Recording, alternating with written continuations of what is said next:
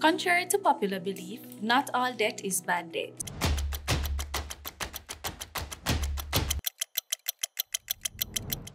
Good debt is used to purchase assets that adds to your financial wealth or provides additional income, such as real estate, to start or to expand your business, or to pursue further education. Bad debt is loans utilized to purchase anything that decreases in value the minute it's purchased. These type of debts are generally disguised with perks and glamour, but exorbitant interest rates such as credit card, motor vehicle loans, and payday loans.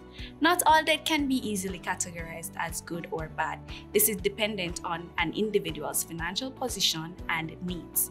It is imperative to assess the use of the debt to ensure the gains to be derived from the debt exceeds the cost of the debt. I am Samantha Tolo and we are proven.